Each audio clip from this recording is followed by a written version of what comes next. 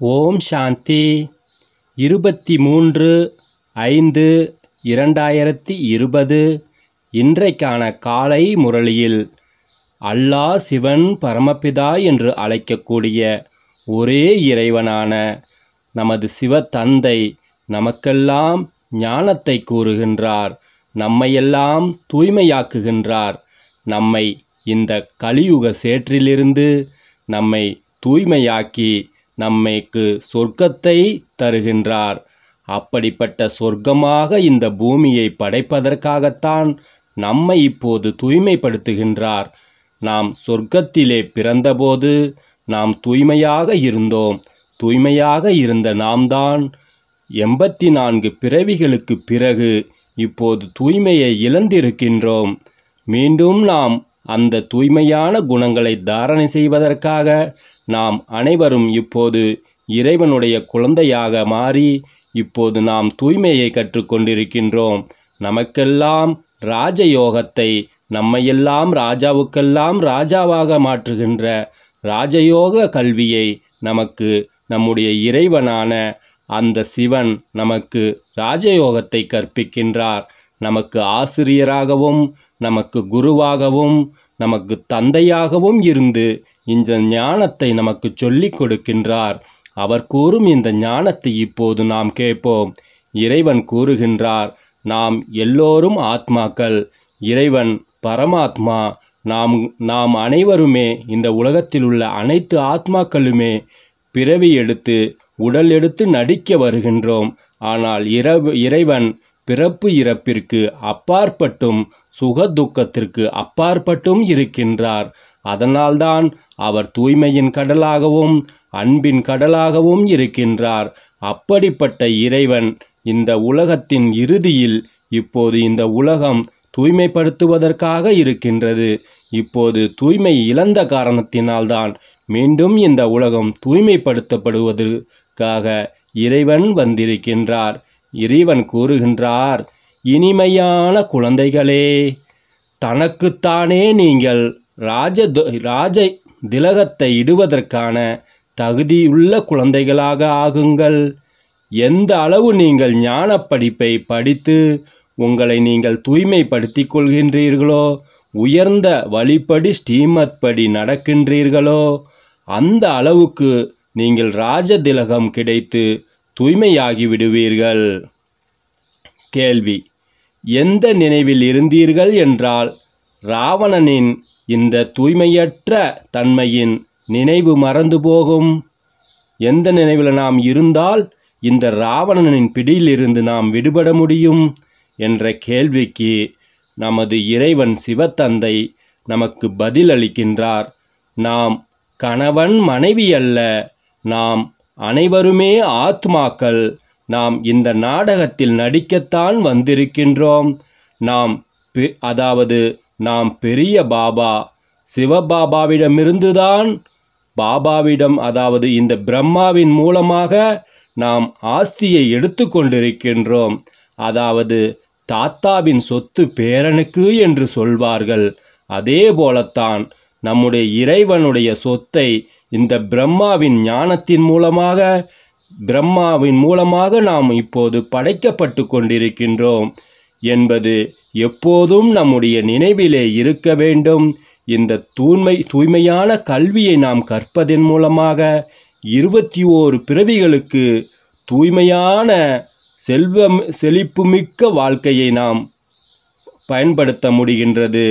நாம் அந்த அளவிற்கு இப்போது தூய்மையாக வேண்டும். எந்த நினைவு ராமண ராவணத்தன்மையின் நினைவை மறக்க வைத்துவிடும்? நாம் ஒரே தந்தையின் குழந்தைகள் என்ற நினைவு நமக்கு இருக்க வேண்டும்.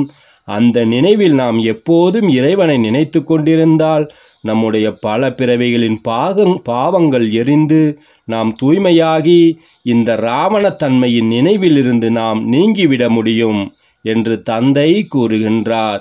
இதுவும் கூட தூய்மையாக இருப்பதற்கான மிக நல்ல யுக்தியாகும்.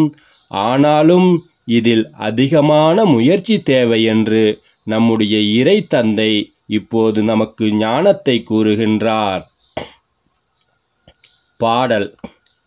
உங்களை அடைந்து நாங்கள் உங்களை அடைந்து நாங்கள் தூய்மையை அடைகின்றோம் இறைவா என்றெல்லாம் பாடல்கள் பக்தி மார்க்கத்திலே இருக்கின்றது. ஓம் சாந்தி. ஆன்மீக தந்தை வந்து ஆன்மீக குழந்தைகளான நமக்கு இப்போது ஞானத்தை புரிய வைக்கின்றார்.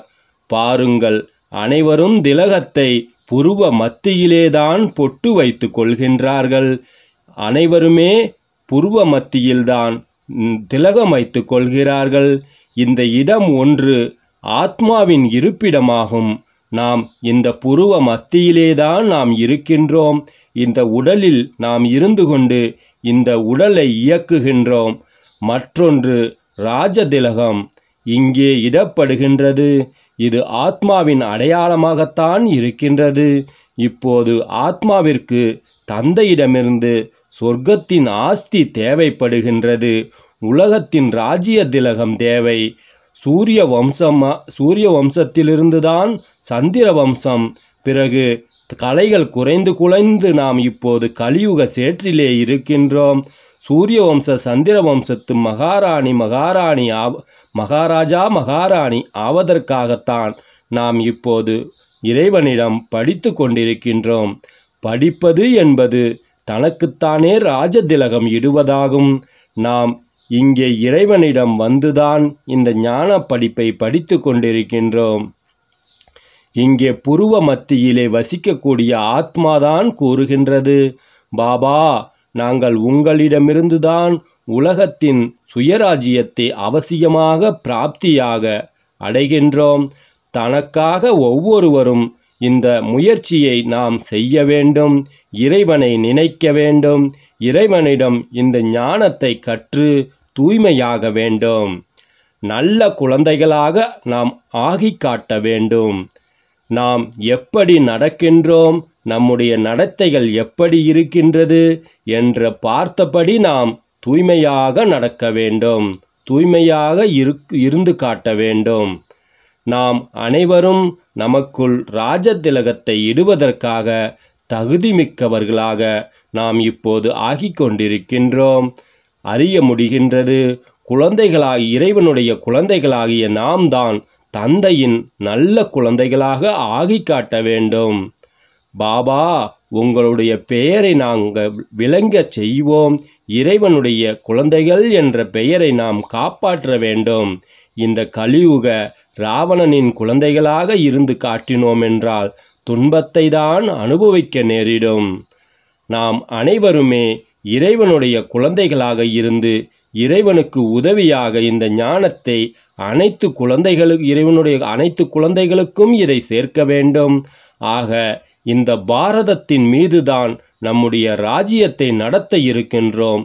பாரதவாசிகள்தான் சொல்கின்றார்கள் எங்களுடைய ராஜ்யம் ஆனால் பாவம். அவர்களுக்கு நாம் பரலோகத்து விஷம் நிறைந்த நதியில் வீழ்ந்து கிடக்கின்றோம். நாம் துன்பம் என்னும் நதியிலே இப்போது கிடக்கின்றோம். அதனால்தான் தூய்மை மிக்க கங்கை நதியில் குளிப்பதாக காட்டியுள்ளார்கள். ஆனால் கங்கை நீரில் குளிப்பதால் மட்டும் பாவங்கள் நீங்காது. நாம் தூய்மையாக வேண்டும். இறைவனுடைய ஞானத்தை கேட்க வேண்டும். இறைவனுடைய இறைவனுடைய தூய்மையை கற்று நாம் தூய்மையான ஞான நதியில் குளிக்க வேண்டும். ஆத்மாக்களாகிய நம்முடைய ராஜ்யம் இப்போது இல்லை.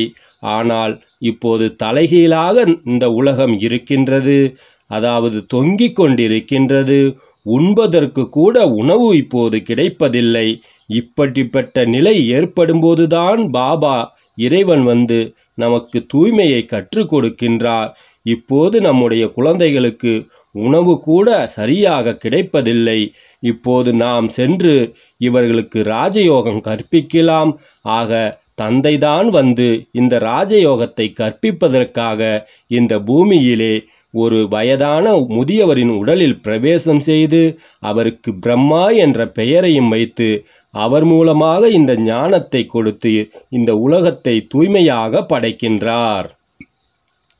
தந்தை தூய்மையானவராக இருக்கின்றார் அவர் ஞானக் கடலாவார் இதுதான் நம்முடைய இது வேறு எவருடைய புத்தியிலுமே இல்லை.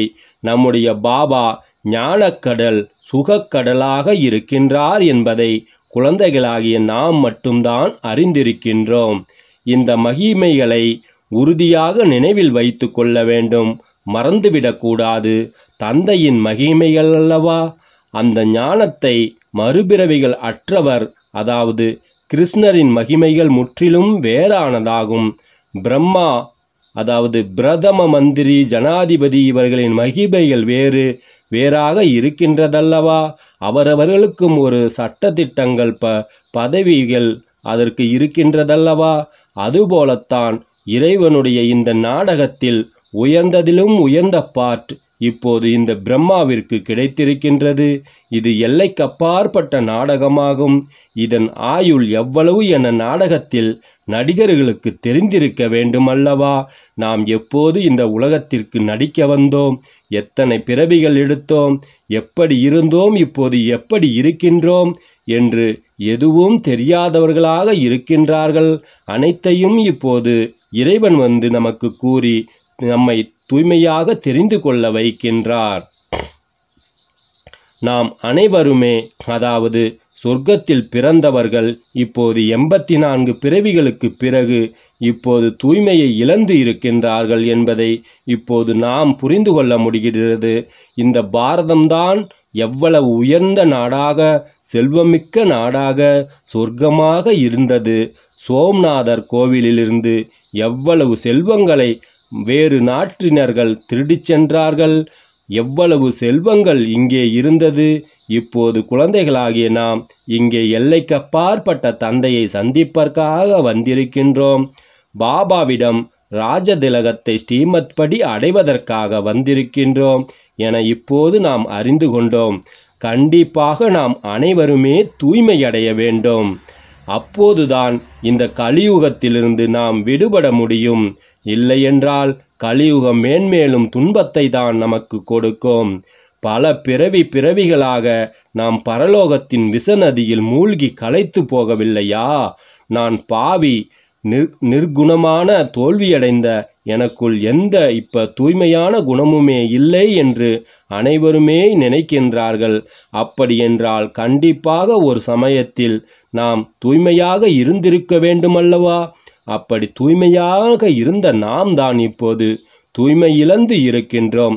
அந்த குணங்களை இப்போது இல்லை. நாம் மீண்டும் அந்த குணங்களை கற்பதற்காக நாம் இறைவனிடம் ஞான அமிர்தத்தை இப்போது பருகி கொண்டிருக்கின்றோம்.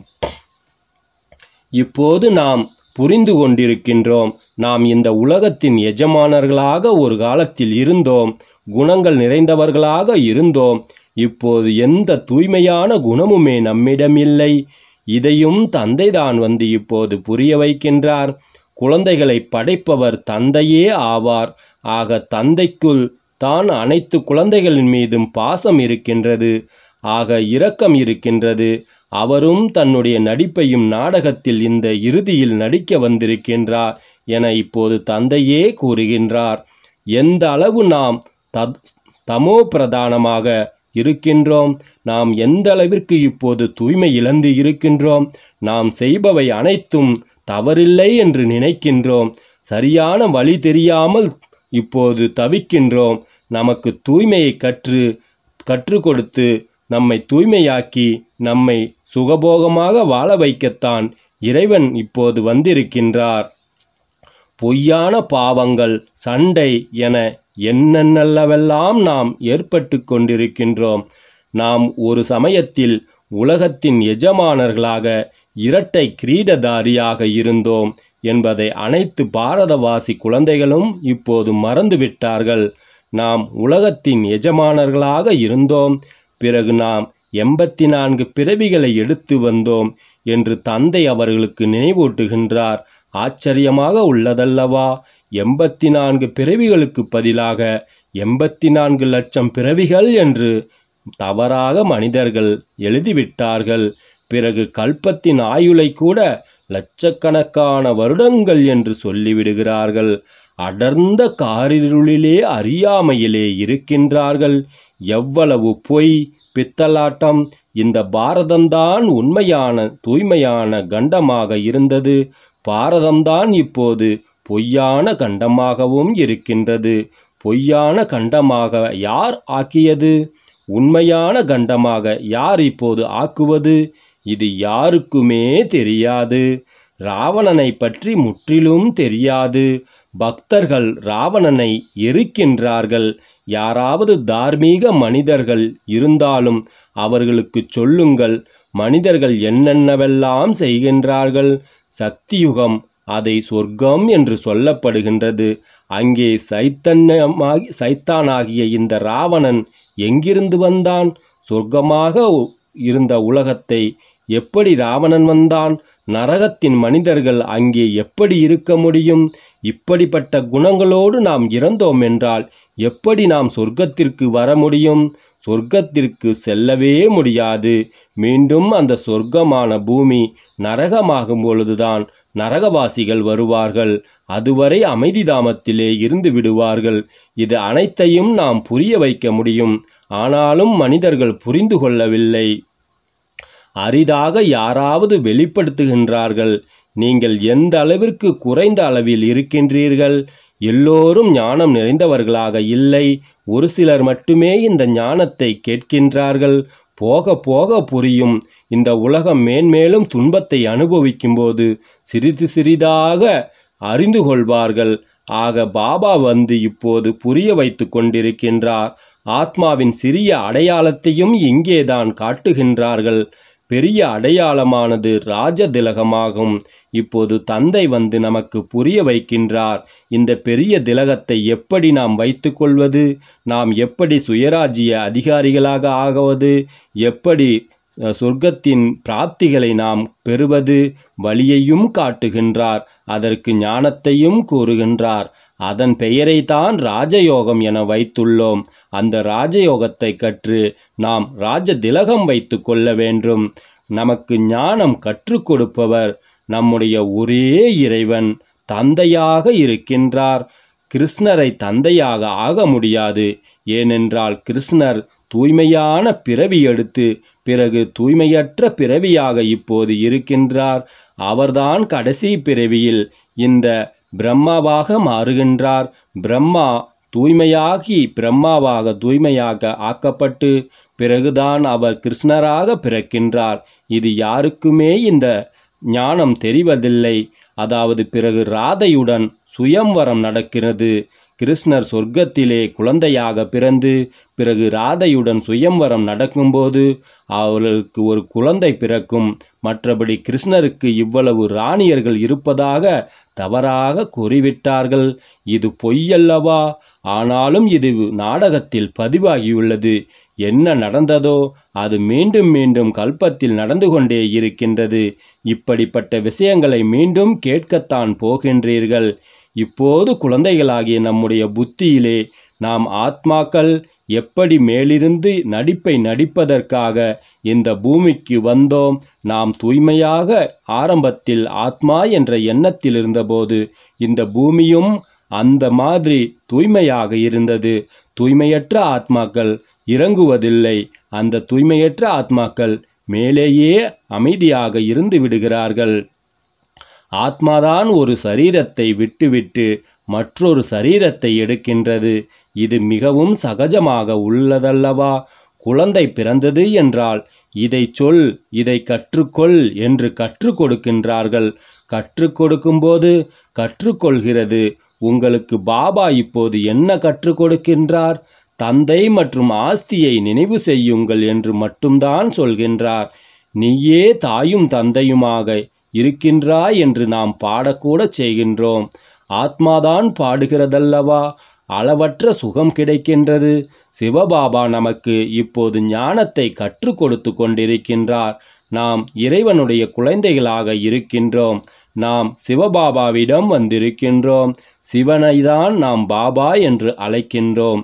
பாகீரதம் எனில் மனித வடிவில் உள்ள ரதம் அல்லவா அந்த வயதான முதியவரின் உடலில் பிரவேசம் செய்து இவரை ரதமாக்கி இவருக்கு பிரம்மா என்ற பெயரையும் வைத்து இவர் மூலமாக இறைவன் நமக்கு ஞானத்தை கூறுகின்றார். இதில் பரமபிதா பரமாத்மா இந்த பாகீரதத்தில் தான் வீற்றிருக்கின்றார். ஆனால் ரதத்தின் பெயர் என்ன? பெயரா? பெயர் பிரம்மா என இப்போது நாம் அறிந்து கொண்டோம். ஏனென்றால் பிரம்மாவின் மூலம்தான் பிராமணர்களை படைக்கின்றார். தூய்மையான ஆத்மாக்களாக்குகின்றார் முதலில் நாம் உச்சி குடுமி போன்ற பிராமணர்களை உருவாக்குகின்றார். பிறகு தேவதைகளாக முதலில் பிராமணர்கள் தேவைப்படுகின்றனர். ஆகையால் விராட ரூபம் காட்டப்பட்டிருக்கின்றது. தேவைப்படுகின்றார்கள். பிராமணர்களாகிய நாம் தான் பிறகு தேவதைகளாகவும் ஆகின்றோம். தந்தை மிகவும் நல்ல முறையில் நமக்கு புரிய வைக்கின்றார். ஆனாலும் கூட மறந்து விடுகின்றார்கள். குழந்தைகளே நாம் இப்போது கணவன் மனைவி அல்ல நாம் அனைவருமே ஆத்மாக்கள். இப்போது கணவன் மனைவியாகவும் குழந்தை தாய் தந்தையாகவும் இப்படி சொந்தங்களாக இப்போது நடித்து கொண்டிருக்கின்றோம். எப்போதும் நினைவிலே நாம் வைத்து கொள்ள வேண்டும். இந்த உடலை விட்டு உயிர் பிரிந்தது என்றால் அப்போதுதான் புரியும். நாம் நடிக்கத்தான் வந்தோம் என்று அதுவரை இந்த கூட்டிலே நாம் இருந்து கொண்டு என்னவெல்லாம் செய்கின்றோம் அது அனைத்தையும் இப்போது பாபா நமக்கு புரிய வைத்து கொண்டிருக்கின்றார். இந்த சிறிய பாபா மூலம்தான் ஆஸ்தியை நாம் எடுத்து கொண்டிருக்கின்றோம் என்றால் ராவணனின் குணங்களை நாம் நினைவுகளை மறந்துவிட வேண்டும். ராவண எண்ணங்களை விட்டுவிட வேண்டும். சீதைகளாகிய நாம் ராவணனுடைய பிடியிலே இருக்கின்றோம். ஆத்மாக்களை தான் சீதை என்று கூறப்படுகிறது. நல்ல யுக்தியாகும். நாம் பாபாவிடம் பல ஜோடிகள் அதாவது இறை ஜோடி ஜோடியாக வருகின்றார்கள். இருவருமே பாபா என அழைக்கின்றார்கள். எப்போது நாம் ஒரே ஒரு தந்தையின் குழந்தைகள் என நினைவு வருகின்றதோ பிறகு ராவண பழக்க வழக்கத்தின் நினைவு நமக்கு மறந்துவிட வேண்டும். நாம் தூய்மையாக இப்போது உழைக்க வேண்டி இருக்கின்றது நாம் முயற்சி செய்ய வேண்டி இருக்கின்றது நாம் இறைவனை நினைக்க வேண்டும். அவரைத்தான் நினைவு செய்கின்றோம். அவர் ஒருவரைத்தான் நினைவு செய்து கொண்டிருந்தோம். அவர் நினைவின் மூலமாகத்தான் நம்முடைய பல பிறவிகளின் பாவ கர்மங்கள் அழியும் என சகஜமான ஞானத்தை கூறுகின்றார். நம்முடைய எண்பத்தி நான்கு பிறவிகளின் கதை முற்றிலும் சகஜமானதுதான். மற்றபடி தந்தையை நினைவு செய்வதில் நமக்கு முயற்சி தேவைப்படுகிறது. முயற்சி செய்து குறைந்தபட்சம் எட்டு மணி நேரமாவது ஒரு நாளைக்கு நாம் இறைவனை நினைவு செய்ய வேண்டும் என்று தந்தையே கூறுகின்றார். ஒரு மணி நேரம் அரை மணி நேரம் வகுப்பிற்கு வந்தீர்கள் என்றால் தந்தை நமக்கு கற்பிக்கின்றார் என நினைவு வரும். இப்போது நாம் தந்தையின் முன்னாலே இருக்கின்றோம் அல்லவா? தந்தையே நம்மை குழந்தைகளே என்று அழைக்கின்றார் குழந்தைகளே எனச் சொல்லி புரிய வைக்கின்றார். குழந்தைகளாகிய நாம் இப்போது தந்தையிடம் கேட்டுக்கொண்டிருக்கின்றோம் என தந்தை கூறுகின்றார். இதுவும் கூட இப்போதைய விஷயம்தான். போக போக இன்னும் சூழ்நிலைகள் மாறும். நாம் ஞானக்கடலாகிய தந்தையிடம் அவர் முன்னால் வந்து நாம் இந்த ஞானத்தை கற்றுக்கொண்டிருக்கின்றோம். இப்போது நாம் குழந்தைகளாக தந்தைக்கு இருக்கின்றோம். ஞானக்கடலான தந்தை நமக்கு இந்த உலகத்தின் முழு சிருஷ்டியின் ஞானத்தை இந்த ஞான கண் மூலமாக நமக்கு புரிய வைத்து கொண்டிருக்கின்றார். பிறகு நாம் எடுப்பதும் ஞானத்தை எடுப்பதும் எடுக்காததும் அவரவர்களுடைய அதிர்ஷ்டத்தை பொறுத்ததாகும். அவரவர்களுடைய நடிப்புப்படிதான் சரியாக நடிப்பார்கள். பிறகு தந்தை வந்து இப்போது நமக்கு ஞானம் கொடுத்து கொண்டிருக்கின்றார். நாம் இப்போது ராஜயோகத்தை கற்றுக்கொண்டிருக்கின்றோம் பிறகு எந்த சாஸ்திரம் முதலானவற்றின் பக்தியின் அம்சமும் இந்த கலியுகத்தின் இறுதியிலே இருக்காது. அனைவரும் விட்டுவிட்டு இறைவன் ஒருவரை மட்டும் நினைக்க ஆரம்பித்து விடுவார்கள். ஆனால் அவர்கள் தூய்மையாகும் அளவிற்கேற்பவே அவர்கள் சொர்க்கத்திற்கு வருவார்கள். கடைசியில் வந்து இந்த ஞானத்தை எடுப்பதனால் தூய்மையாக முடியாது. ஏனென்றால் பல பிறவிகளின் பாவங்கள் ஆத்மாவிலே இருக்கின்றது. அதை நீங்கள் இப்போதே நினைத்து இறைவனை தூய்மையாக நீங்கள் உங்களுடைய ஆத்மாவை தூய்மையாக்க வேண்டும். உங்களுடைய ஞானக்கடல் வரும்போதுதான் ஞானம் சொல்கின்றார். நம்முடைய இறைவன்தான் இந்த ஞானத்தை கூறுகின்றார். அவருடைய ஞானமே நம்மை தூய்மையாக்கக்கூடியதாகும். நமக்கு சொத்து சுகத்தை வழங்கக்கூடியதாகும். வள்ளல் ஒருவர்தான் அவர்தான் பகவான் என அழைக்கப்படுகிறார். அனைவரும் ஒரு தூய்மையான ஒரு இறைவனைத்தான் வெவ்வேறு வழிகளில் வழிபடுகிறார்கள். பிறகு இன்னொருவர் எப்படி இருக்க முடியும்? இப்போது அவ் எத்தனை தர்மங்களில் இதுதான் எங்கள் கடவுள் இதுதான் எங்கள் கடவுள் என்று சொல்கிறார்களே அப்படி எப்படி இருக்க முடியும்? இறைவன் ஒருவர்தானே இப்போது அனைவருமே பங்கு போட்டுக்கொண்டு ஒவ்வொரு வழிகளில் வழிபடுகின்றார்கள். ஆனால் இறைவனுடைய ஒரே வழி அது தூய்மையான வழியாகும். அதை இப்போது ஞானமாக கூறுகின்றார். இப்போது நாம் தந்தை இறைவனுடைய இறைவனை மூலமாக குழந்தைகளாகிய நாம் உண்மையான விஷயங்களை கேட்டுக்கொண்டிருக்கின்றோம். நாம் குழந்தைகளாக நம்முடைய தந்தையை ஏற்று ஏற்- நாம் தந்தையிடம் வந்திருக்கின்றோம். ஆக தூய்மையை கற்றுக்கொள்ள வேண்டும். ஐந்தாயிரம் வருடங்களின் விஷயமாகும் இது. நாம் இரட்டை கிரீடதாரிகளாக இருந்தோம். தூய்மையாக இருந்தோம். தூய்மையாக ஆட்சி செய்தோம். பிறகு ராவண ராஜ்யம் ஏற்பட்டபோது நாம் பூசாரிகளாக ஆகி நம்முடைய சிலைக்கே நாம் இப்போது பூஜை செய்து கொண்டிருக்கின்றோம். இப்போது தந்தை படிப்பிக்க வந்திருக்கின்றார் என்னும்போது அவரின் உண்மையான ஸ்டீமத் படி நாம் நடக்க வேண்டும். பிறருக்கு இந்த ஞானத்தை கற்று அனைவருக்கும் புரிய வைக்க வேண்டும். இந்த சரீரத்தை கடனாக நாம் எடுக்க வேண்டியிருக்கின்றது. அதாவது இறைவன் இந்த உடலை பிரவேசம் செய்து இந்த உடலை கடனாக எடுத்து நமக்கு ஞானத்தை கூறுகின்றார். அவர் உடல் எடுத்து பிறப்பதே இல்லை. அவர் பிறப்பிறப்பிற்கு அப்பாற்பட்டிருக்கின்றார். அவருக்குத்தான் பிரம்மா என்று பெயரையும் வைத்து ரதமாக இருக்கின் ரதமாக இருந்து இந்த ஞானத்தை பிரம்மா நமக்கு கூறுகின்றார். நான் காளை மாடு அல்ல பலியாவது அனைத்தும் உங்கள் மீது. பாபா நமக்குத்தான் இந்த ஞானத்தை கூறுகின்றார். இடையில் நான் கேட்டுக்கொள்கிறேன். அதாவது இறைவன் கூறும் ஞானத்தை தான் இந்த பிரம்மாவும் கேட்டுக்கொள்கின்றார். பிரம்மாவும் இறைவனிடமிருந்து தான் இந்த ஞானத்தை கேட்கின்றார். நமக்கு இந்த ஞானத்தை கூறுகின்றார். நான் கேட்டுக்கொள்கிறேன் என்று தந்தையே இப்போது கூறுகின்றார். அதாவது பிரம்மாவும் நமக்கு ஒரு தந்தையாக இருக்கின்றார். வயதான முதியவராக இருக்கின்றார். அவர் கூட முயற்சி செய்துதான் தூய்மையாகுகின்றார். நாமும் மாணவர்கள் இருவரும் படிக்கின்றோம். தந்தையின் நினைவில் நாம் இருக்கின்றோம். எவ்வளவு குசி இருக்கின்றது. லட்சுமி நாராயணரை பார்த்து குசி ஏற்படுகின்றது. நாம் சொர்க்கத்தில் தூய்மையாக இருக்க போகின்றோம். நாம் இப்படியாக போகிறோம் என்று எவ்வளவு மகிழ்ச்சி நமக்கு வர வேண்டும். இளவரசன் இளவரசியாவதற்கு ராஜயோகம் வேண்டும். அதற்கு நாம் குறிக்கோளுடன் இந்த ஞானத்தை கற்றுக்கொள்ள வேண்டும். பிறகு ஏன் அவ்வளவு குசி அனைவருக்குமே ஏற்படுவதில்லை. அவர்கள் தூய்மையடைய நினைப்பதில்லை. நாம் ஒவ்வொரு கல்பத்திலும் ஆஸ்தியை எடுக்கின்றோம். இங்கே ஞான கடலிடம் வருகின்றோம். நீரின் விஷயம் அல்ல இதை நீரில் குளித்தால் தூய்மையாகிவிடலாம் என்று கங்கைக்கு செல்வது அதில் முக்கியமில்லை. நாம் இறைவனிடம் இந்த ஞான கங்கையில் குளித்து தூய்மையாக வேண்டும் என்று நமக்கு புரிய வைக்கின்றார். நாம் இப்போது தேவதைகள் போல ஆகி கொண்டிருக்கின்றோம் அதற்காக படித்து கொண்டிருக்கின்றோம். குழந்தைகளுக்கு மிகவும் இதில் மகிழ்ச்சி ஏற்பட வேண்டும். நாம் இப்போது நம்முடைய சொந்த வீட்டிற்கு செல்ல இருக்கின்றோம். யார் எந்த அளவிற்கு தூய்மையாக படிக்கின்றார்களோ அந்த அளவிற்கு நமக்கு உயர்ந்த பதவியும் கிடைக்கின்றது. ஒவ்வொருவரும் தன்னுடைய முயற்சி செய்ய வேண்டும். மனசோர்வு அடைந்துவிடக்கூடாது மிகப்பெரிய லாட்டரியாகும் இது. புரிந்து கொண்டிருந்தாலும் பிறகு ஆச்சரியப்படியும்படியாக ஓடிப்போய் படிப்பை விட்டு விடுகிறார்கள். மாயை எவ்வளவு பலம் வாய்ந்தது. அனைவருமே அனைவரையுமே சேற்றில் தள்ளிவிடுகிறது மாயை.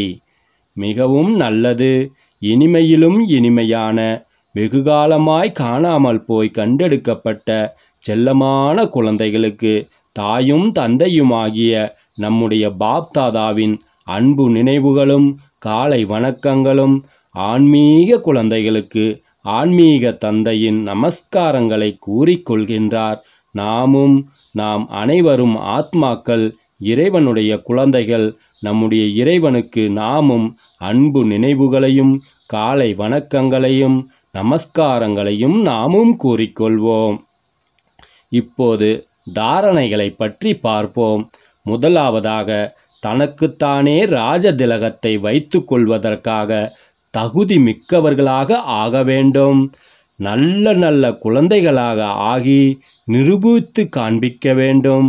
நம்முடைய நடத்தை மிகவும் ராயலாக இருக்க வேண்டும். தந்தைக்கு முழுமையான உதவியாளராக ஆக வேண்டும். இரண்டு நாம் மாணவர்கள். பகவானே நமக்கு இப்போது ஞானத்தை கற்பிக்கின்றார் என்ற குசியில் நாம் ஞான படிப்பை படிக்க வேண்டும். ஒருபோதுமே முயற்சியில் மனச்சோர்வு அடையக்கூடாது. வரதானம். கட்டுப்படுத்தும் சக்தி மூலம் ஒரு வினாடி தேர்வில் தேர்ச்சி பெறக்கூடிய மதிப்புடன் தேர்ச்சி பெறுபவர் ஆகுங்கள். ஒரு வினாடியில் நமக்கு இந்த வெற்றி கிடைக்கின்றது. அதற்காக நாம் இப்போது படித்து கொண்டிருக்கின்றோம். இந்த உலகம் அழியும் போது அந்த ஒரு வினாடியில் அவரவர்களின் எண்ணத்திற்கேற்ப தூ தூய்மைக்கு ஏற்ப நமக்கு பல பிறவிகளின் பாவங்கள் அழிக்கப்பட்டு நாம் சொர்க்கத்தில் பிறக்க வேண்டிய வாய்ப்பு கிடைக்கின்றது. இந்த வினாடி ஒரே ஒரு சரீரத்தில் வர வேண்டும். அதாவது நாம் ஆத்மா என்பது புரிந்து கொள்ள வேண்டும். வீணான சரீரத்திலிருந்து விடுபட்டவராகி நாம் அவ்யுக்த ஸ்திதியில் நிலைத்து விட வேண்டும்.